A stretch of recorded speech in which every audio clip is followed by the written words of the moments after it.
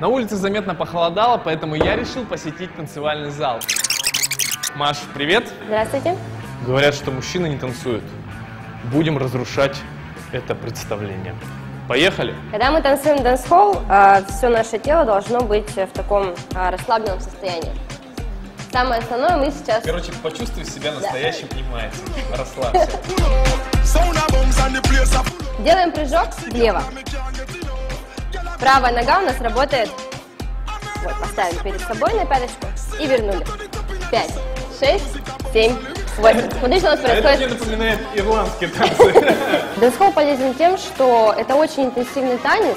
Во-первых, это получается аэробные нагрузки, и дэнс-холл полезен для души, потому что не влюбиться в музыку дэнс-холл невозможно.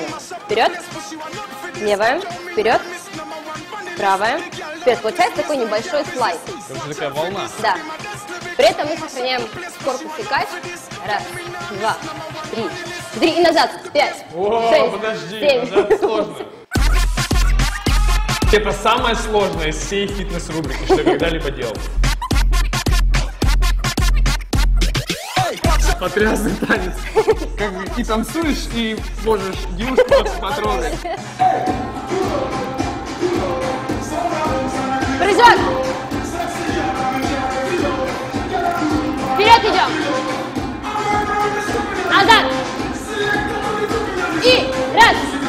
Три, четыре, пять, шесть, семь, восемь.